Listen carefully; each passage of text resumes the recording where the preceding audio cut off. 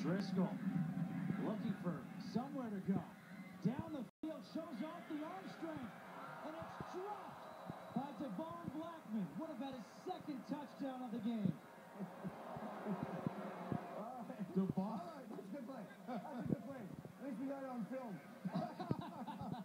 okay, we got one more play. Let's chuck it. Now, guys, Jeff Driskel threw this ball from his own 30-yard line, and Devon Blackman the nine.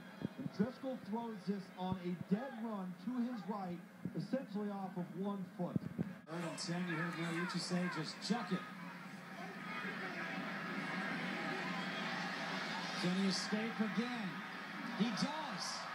He's like Eli Manning, but not this time. Chased down from behind by Zay. First and 10, Driskel steps up, looking for a block, cuts it back. Driskel still on his feet. Driskel towards the sideline. It's a foot race. Touchdown, Driskel.